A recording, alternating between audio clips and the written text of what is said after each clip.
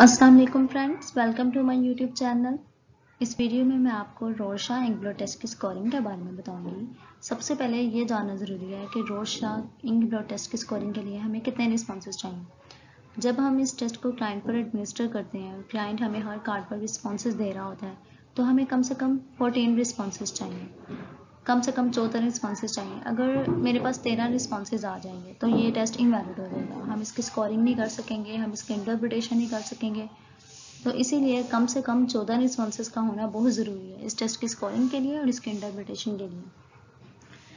इसके अलावा जब हम इसकी स्कोरिंग जब हमारे पास रिस्पॉन्सेज आ गए, हमने दोनों फ़ेज़ एडमिनिस्टर कर लिया, हमने रिस्पॉन्स फ़ेज़ भी कर लिया, हमने इंक्वायरी फ़ेज़ भी कर लिया। उसके बाद हम इसकी स्कोरिंग करते हैं। स्कोरिंग में हम देखते हैं इसकी location determinants, content, popularity and special scores. Location सबसे पहले हम लोकेशन देखते हैं।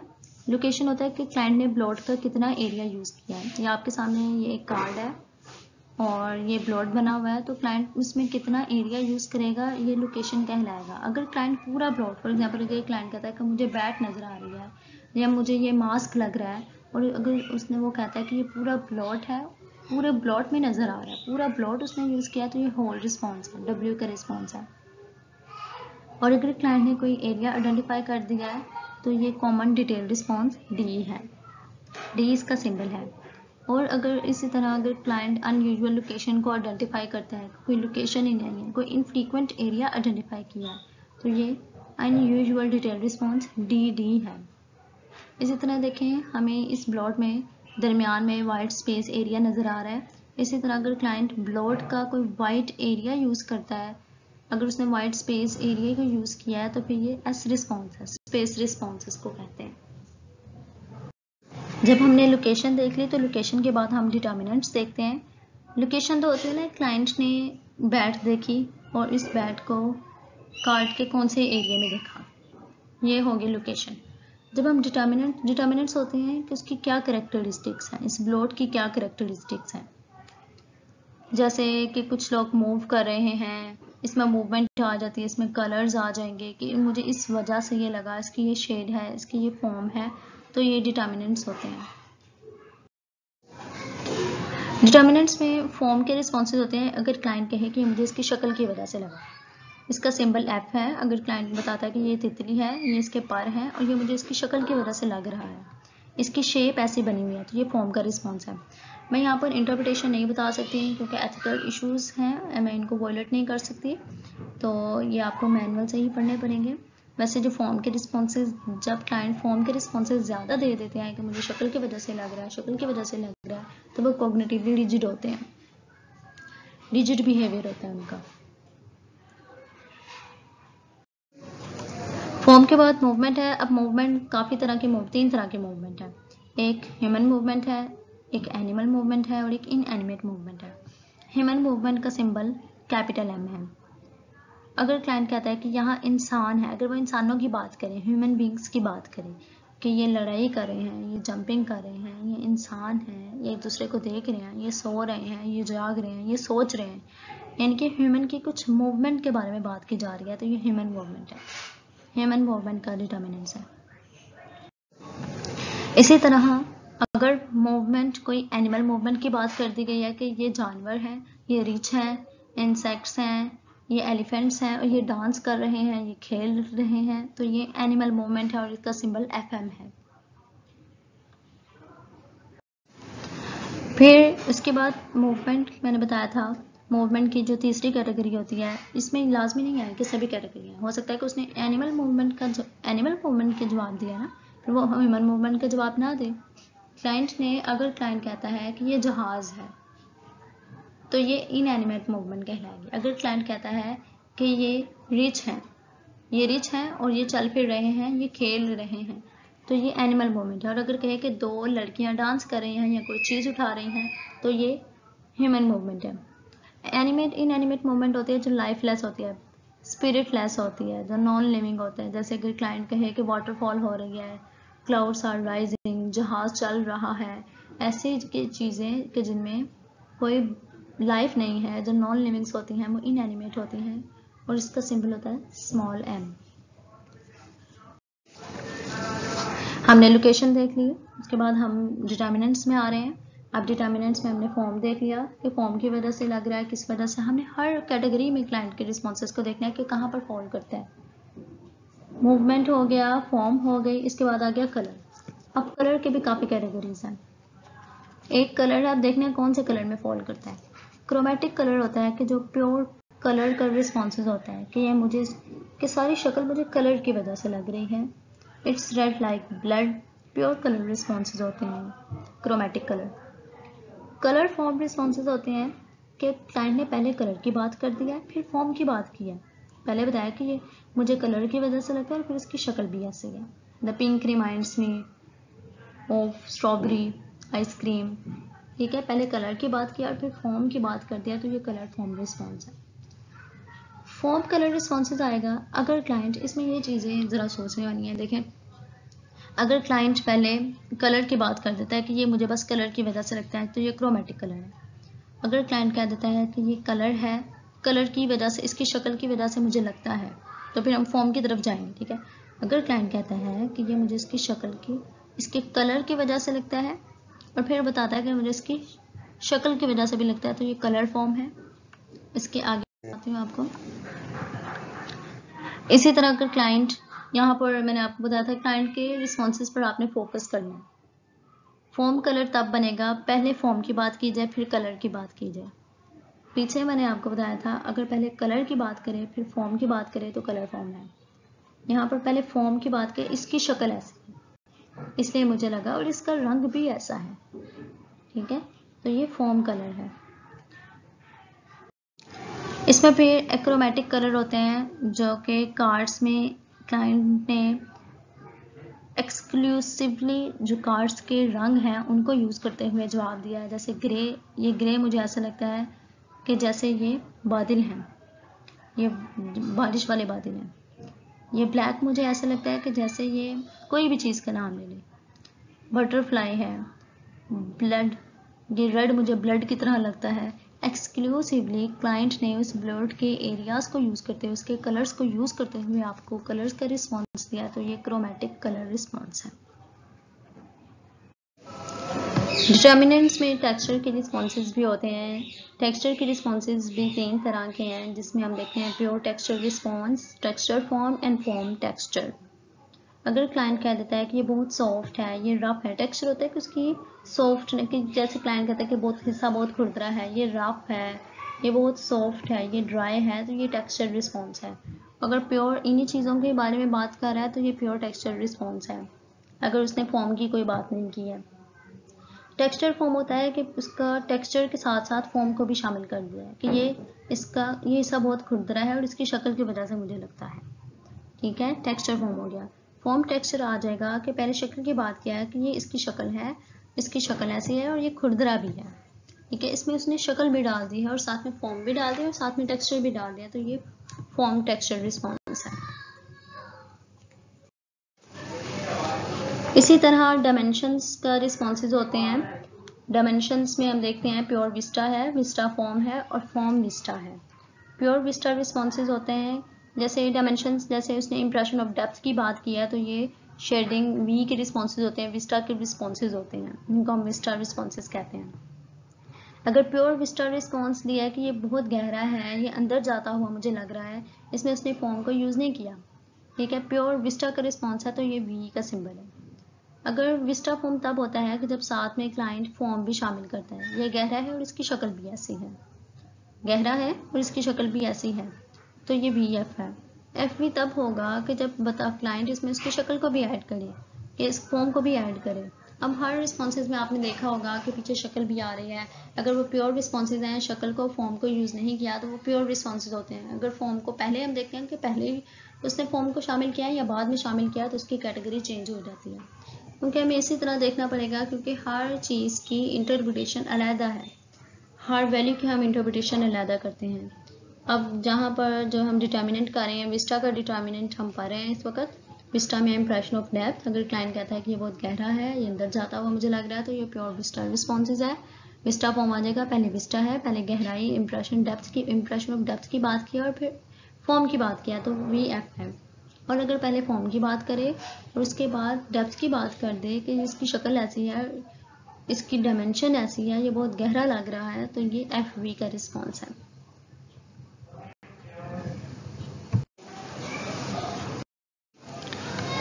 अब आगे डिटर्मिनेंट्स में ही शेडिंग के रिस्पॉन्सेज हैं। शेडिंग में वाई सिंबल हम प्योर शेडिंग रिस्पॉन्स के लिए यूज़ करते हैं। वाई रिप्रेजेंट करता है सेंस ऑफ़ हेल्पलेसनेस को और विदड्रॉल को। प्योर शेडिंग रिस्पॉन्सेज होते हैं कि बस ये लाइट है, ये बहुत डार्क है प्योर शेडिंग का रिस्पॉन्स है। इसमें शेड्स को ऐड किया है। शेडिंग फॉर्म रिस्पॉन्सेज तब बनता है shading form shading form response के पहले शेड की बात की है और फिर फॉर्म की बात कर दी है। इसकी शेडिंग ऐसी है, ये गहरा है, ये बहुत डार्क है, ये लाइट कलर का है और फिर इसकी शक्ल भी ऐसी है, ये शेडिंग फॉर्म वाई एफ़ इसका सिंबल है। फॉर्म शेडिंग तब बनता है जब फॉर्म हो और साथ में शेडिंग की भी बात कर दी जाए। पहले फॉर्म की बात क्या है कि इसकी शक्ल ऐसी है। ये किसी जगह से लाइट है, ये किसी जगह से बहुत डार्क लग रहा है, इसलिए मुझे लगता है। क्लाइंट इस तरह का जवाब देगा तो ये फॉर्म शेडिंग रिस्पॉन्स है एफ़ वाई इसका सिंबल है। इसी तरह फॉर्म डिमेंशन तब होता है जब क्लाइंट ने साइज़ और शेप के एलिमेंट को भी साथ में शामिल कर दिया। Impression of depth and distance is created by using the element of size and shape for example अगर क्लाइंट कहे कि इसके पाँव इसके सर से बहुत बड़े हैं, कि इसके साइज़ और शेप को भी शामिल कर दिया डेप्थ एंड डिस्टेंस के साथ, उसकी लाइटनेस के साथ, उसकी शेडिंग के साथ तो ये फॉर्म डायमेंशन कहलाता है। अब ये लास्ट डिटर्मिनेंट है पेयर एंड रिफ्लेक्शन का, और ये भी तीन तरह का है। पेयर एंड रिफ्लेक्शन होगा, अगर क्लाइंट पेयर्स को यूज़ करता है। There are two animals two human beings are playing with each other तो ये पेयर रिस्पॉन्स है, इसका सिंबल टू है। रिफ्लेक्शन फॉर्म रिस्पॉन्स होता है कि अगर क्लाइंट में, इसमें रिफ्लेक्शन को शामिल कर देता है कि ये आदमी है। इसकी शक्ल की वजह से मुझे लगता है, और ये इसका साया भी है साथ में। तो ये रिफ्लेक्शन फॉर्म रिस्पॉन्स है। फॉर्म रिफ्लेक्शन रिस्पॉन्स आता है कि जब क्लाइंट ने पहले फॉर्म को यूज़ किया और फिर रिफ्लेक्शन को यूज़ किया तो इसी तरह हम देखते जाएँगे कि कौन सा क्लाइंट का रिस्पॉन्स किस कैटेगरी में फॉल करता है और इन सब चीज़ों को नोट करते जाएँगे। लोकेशन और डिटर्मिनेंट्स के बाद अब हम कंटेंट देखेंगे। लोकेशन हो गया ना क्लाइंट ने कितना एरिया यूज़ किया ब्लॉट का। और डिटर्मिनेंट्स होंगे इस ब्लॉट की क्या करेक्टरिस्टिक्स हैं। अब कंटेंट में हम देखते हैं कि क्या स्पेसिफिक सब्जेक्ट क्लाइंट ने यूज़ किया है। क्या कोई ह्यूमन है, जैसे कोई एनिमल है, कोई नोटमी है, कि उसको लगता है कि ये ब्रेन है। ये ब्रेन है, ये स्टमक है, ये लंग्स हैं, ये फेफड़े हैं तो ये एनोटमी का रिस्पॉन्स होता है, जो कंटेंट में आ जाता है कि एक्सरे है आर्ट है एंथ्रोपोलॉजी या ब्लड ज्वेलरी वगैरह तो ये सब चीज़ें कंटेंट में आती हैं। अब कंटेंट में ह्यूमन रिस्पॉन्स है। ह्यूमन में काफ़ी डिटेल्स हैं। अब होल ह्यूमन है। अगर क्लाइंट कहता है कि ये होल ह्यूमन फॉर्म है होल ह्यूमन के पूरे इंसान की बात की है होल ह्यूमन है। होल ह्यूमन फिक्शनल और मैथोलॉजिकल तब बनता है कि जैसे अगर कोई जोकर की बात करें कि मुझे लगता है कि ये एक जोकर है, ये फेरीज हैं, ये एंजल हैं, ये गोस्ट है तो ये होल ह्यूमन फिक्शनल और मैथोलॉजिकल है। ह्यूमन डिटेल तब होगा कि जब इनकम्प्लीट ह्यूमन है। जैसे कि ये इंसान है, इसके बाजू नहीं है। या फिर इसका सर नहीं है, ये सिर्फ़ इसके बाजू है। जैसे अगर किसी कार्ड्स पर क्लाइंट स्पेसिफिक बताए ना कि ये सिर्फ़ दो लड़कियों के सर नज़र आ रहे हैं, ये इसकी टांगे नज़र आ रही हैं। यानी कि इनकम्प्लीट ह्यूमन है तो ये ह्यूमन डिटेल है। ह्यूमन डिटेल का रिस्पॉन्स है। ह्यूमन डिटेल फिक्शनल और मिथोलॉजिकल तब बनता है कि जब क्लाइंट इसमें फिक्शनल एस्पेक्ट्स को ऐड कर देता है। जैसे हेड ऑफ़ डेविल है आइज़ ऑफ़ एंजल्स हैं आर्म्स ऑफ़ विच हैं, किसी फरिश्ते की आँख है तो ये ह्यूमन डिटेल फिक्शनल और मिथोलॉजिकल है। इसके बाद ह्यूमन एक्सपीरियंसेस हैं, ये सब ह्यूमन में ह्यूमन रिस्पॉन्सेज में आ रहे हैं। ह्यूमन एक्सपीरियंस में आ जाएगा कि एट्रीब्यूट्स ऑफ़ इमोशंस इसमें क्लाइंट ने जैसे कि ह्यूमन एट्रीब्यूट्स होते हैं, ये ह्यूमन एट्रीब्यूट्स जैसे कि ह्यूमंस के एक्सपीरियंसेस हैं, या फिर इंसानों के जो इमोशंस होते हैं इनको भी ऐड कर दिया कि ये बहुत सैड है, ये बहुत गुस्से में है, ये बहुत खुश है। तो ये ह्यूमन एक्सपीरियंसेस का रिस्पॉन्स है। इसी तरह जो एलिमेंट्स, अभी मैंने आपको ह्यूमन के बारे में बताए सेम एनिमल्स के बारे में भी है कि पूरा इंस एनिमल किसी एनिमल के ये रिच है, ये एलिफेंट है तो ये होल एनिमल है, कि पूरे की बात किया ना, कि पूरा नज़र आ रहा है। होल एनिमल फिक्शनल और मैथोलॉजिकल जैसे कि ये ड्रैगन है यूनिकॉर्न है फ्रॉग हो गया फ्लाइंग हॉर्स हो गया, ठीक है? ये है ऑल एनिमल फिक्शनल और मैथोलॉजिकल है। फिर एनिमल डिटेल वही है कि जैसे मैंने इंसानों के बारे में भी बताया था कि इंसानों के बाजू नहीं है, ये इंसान है और इसका सर नहीं है तो ये ह्यूमन डिटेल थी। इसी तरह यहाँ एनिमल डिटेल आ जाते हैं कि head of dog is missing और इसी तरह उसका सर नहीं है, किसी डॉग का पाँव नहीं है, इसी तरह इंसानों एनिमल्स के बारे में बात की जा रही है तो ये एनिमल डिटेल है। एनिमल डिटेल फिक्शनल और मैथोलॉजिकल भी होती है कि जैसे कि ये हेड ये एनिमल है। फॉर एग्जांपल अगर क्लाइंट कहे कि ये एक रैबिट है, लेकिन इसका सर किसी और चीज़ का है। किसी फॉर एग्जांपल किसी चिकन का हेड है, किसी चिक का हेड है पैगसिस है विंग्स पैगसिस के हैं, लेकिन ये यूनिकॉर्न है। इसी तरह क्लाइंट एनिमल डिटेल और फिक्शनल और मैथोलॉजिकल के आंसर्स भी देता है तो हमें इनको देखना है। अनोटमी के रिस्पॉन्सेज होते हैं, उसका सिंबल ए एन है। जैसे कि क्लाइंट बताता है अनोटमी के रिस्पॉन्सेज हो सकते हैं कि इंसान के इंटरनल ऑर्गन्स के बारे में बात करें कि ये बोन है, ये स्कल्स हैं, ये लंग्स हैं ब्रेन है, फेफड़े हैं हार्ट है। अनोटमी का रिस्पॉन्सेज होता है। एक्सरे को यूज़ करें कि ये एक्सरे है तो एक्सरे का रिस्पॉन्स आर्ट आर्ट में आ जाता है कि ये स्टैचू लगता है। मुझे लगता है कि ये स्टैचू है ये ज्वेलरी है। ये पेंटिंग या आर्ट ऑब्जेक्ट की बात करें तो ये आर्ट का रिस्पॉन्स है और ये कंटेंट में आता है। फिर एंथ्रोपोलॉजी है कि जिसमें किसी कल्चरल और हिस्टोरिकल एस्पेक्ट्स के हवाले से बात करें कि ये रोमन का हेलमेट है ये जैसे निपोलियन हैट है, ये कोई किसी कल्चरल कॉन्टेक्ट ये इंडिया का मुझे लगता है कि जैसे कि ये इंडिया का मैप बना हुआ है। या पाकिस्तानी कल्चर में से कोई चीज़ या किसी भी कल्चर के अकॉर्डिंग कोई चीज़ को हिस्टोरिकल पर्सपेक्टिव के हवाले से बताता है तो ये एंथ्रोपोलॉजी का रिस्पॉन्स है। अगर वह ब्लड क्लाइंट को ब्लड नज़र आ रहा है, किसी के साथ एसोसिएट कर रहा है कि इंजरी है तो ब्लड है। ब्लड का रिस्पॉन्सेज जो होता है ना, वो इंजरी को डेथ और डिस्ट्रक्शन के बारे में एसोसिएट होता है। ये उसके साथ एसोसिएटेड होता है। ब्लड चाहे वो ह्यूमन का यूज़ करें या फिर एनिमल का यूज़ करें। जब भी ब्लड की बात की जाएगी तो डैमेज एंड डिस्ट्रक्शन और डेंजर की बात की जाएगी। इनके क्लाइंट उसके हवाले से बात कर रहा होगा। फिर क्लॉथिंग आ जाता है। क्लॉथिंग में हर तरह का क्लॉथ है। Hat boot dress neck tie या स्काफ वगैरह, इन सब चीज़ों के बारे में क्लाइंट कहे कि ये मुझे इस तरह लग रहा है तो ये चीज़ इसका सिंबल है तो क्लॉथिंग रिस्पॉन्स है। कंटेंट में फिर क्लाउड्स भी आ जाते हैं एक्सप्लोजन्स आ जाएँगे कि ब्लास्ट हुआ हुआ है फायर हो गई है तो फायर का रिस्पॉन्स है।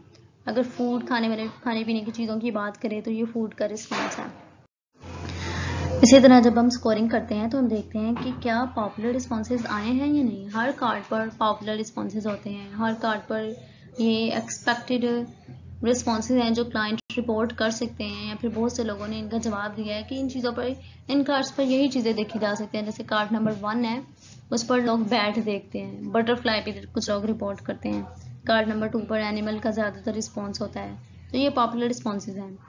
और इनको देखना बहुत ज़रूरी है, क्योंकि ये भी हमारी स्कोरिंग में हमारी हेल्प करते हैं। कार्ड नंबर थ्री पर ज़्यादातर डॉल्स वगैरह ह्यूमन लाइक फिगर्स रिपोर्ट किया जाता है। कार्ड नंबर फोर पर ह्यूमन लाइक फिगर्स होते हैं, जैसे कि मॉन्स्टर्स हो गए। कार्ड नंबर फोर पर भी। इसी तरह ये बाकी कार्ड्स हैं। कार्ड नंबर फाइव पर बटरफ्लाई और बैट का रिस्पॉन्स पॉपुलर रिस्पॉन्स है। कार्ड नंबर सिक्स पर एनिमल एनिमल हो गया एनिमल स्किन हो गई कैट फॉक्स वगैरह एनिमल्स वगैरह। कार्ड नंबर सेवन पर ह्यूमन ह्यूमन हेड या फेस कार्ड नंबर एट पर होल एनिमल फिगर ज़्यादातर रिपोर्टेड होता है। और कार्ड नंबर नाइन पर ह्यूमन लाइक फिगर्स मॉन्स्टर्स हो गए। कार्ड नंबर टेन पर स्पाइडर और क्रैप्स वगैरह देखे जाते हैं। ज़रूरी नहीं है कि हर क्लाइंट हमें स्पेशल स्कोर्स प्रोवाइड करे। कुछ क्लाइंट्स होते हैं जो हमें स्पेशल स्कोर्स प्रोवाइड करते हैं और ज़्यादातर जो स्पेशल स्कोर हमें प्रोवाइड करते हैं वो साइकोटिक पेशेंट्स होते हैं।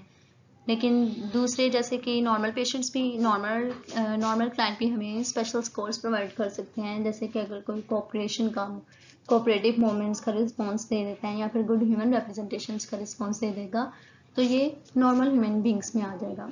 सॉरी नॉर्मल क्लाइंट में आ जाएगा। अब स्पेशल स्कोर्स में हम देखते हैं डेविन वर्बलाइजेशन होती है कि अगर वो क्लाइंट ने बहुत ओड रिस्पॉन्स दिया है इनकोरेक्ट वर्ड्स को यूज़ किया है तो ये इसकी एक्यूरेसी एक्सप्रेशंस की जो, यानी कि वो अपने एक्सप्रेशंस को ठीक से एक्सप्रेस नहीं कर पा रहा, इन एक्यूरेसी ऑफ़ एक्सप्रेशंस को रिप्रेजेंट करता है। डेविंट रिस्पॉन्सेज होता है कि लॉन्गर रिस्पॉन्स है, लेकिन इन अप्रोप्रिएट फ्रेजेस को यूज़ किया है। ये serious management serious mental management को शो कर रहा होता है।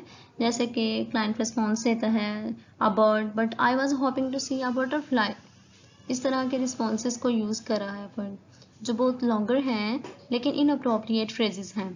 तो डायमंड रिस्पॉन्सेज होते हैं ये। इन कॉन्ग्रेंस कॉम्बिनेशन होती हैं।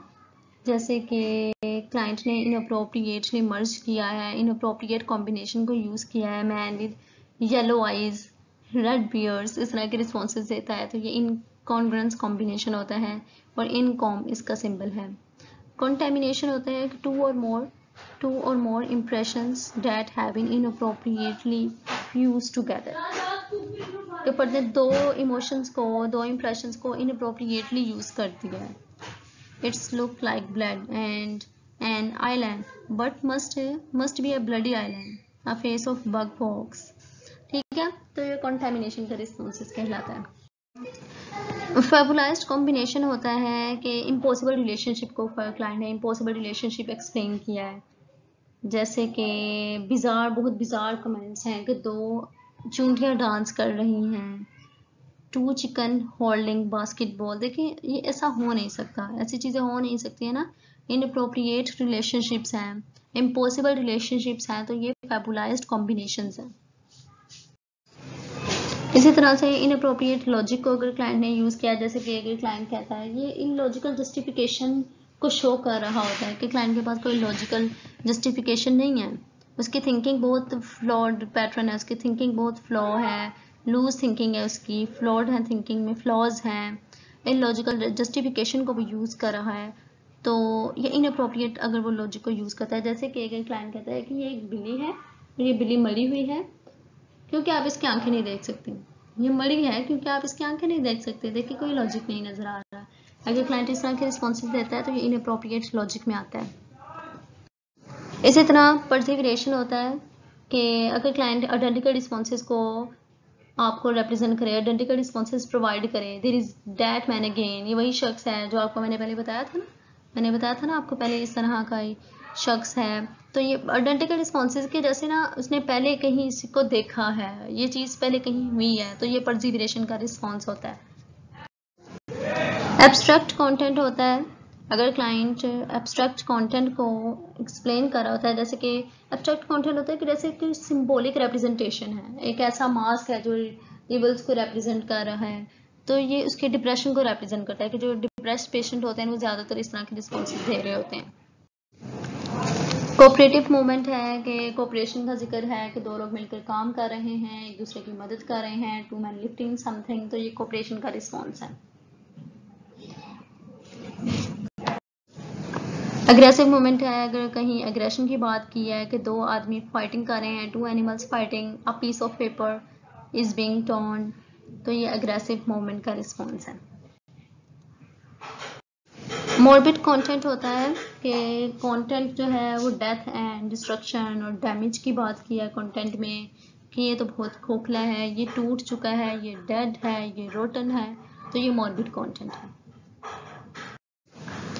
इसी तरह गुड ह्यूमन रिप्रेजेंटेशन और पुअर ह्यूमन रिप्रेजेंटेशन होती है कि दो लोग मिलकर बहुत अच्छा काम कर रहे हैं, एक दूसरे के साथ तामन कर रहे हैं तो गुड ह्यूमन रिप्रेजेंटेशन है। और अगर पुअर ह्यूमन रिप्रेजेंटेशन है, कि लड़ाई झगड़े हैं, कि एक दूसरे से नाराज़ हैं एक दूसरे के साथ अच्छा सलूक नहीं कर रहे तो ये पुअर ह्यूमन रिप्रेजेंटेशन है। जी, पिछली वीडियो में मैंने आपको इसके बारे में, इसके रोड शाइन प्रोटेस्ट की इंस्ट्रक्शंस कैसे करते हैं क्लाइंट के साथ कैसे बात करनी है आप लोगों ने, कैसे इसको इंस्ट्रक्शंस प्रोवाइड करनी है, ये किसने बनाया था सबकी डिटेल है, और मैंने डिस्क्रिप्शन में ऐड कर दिया है, वहाँ से उसको देख सकते हैं।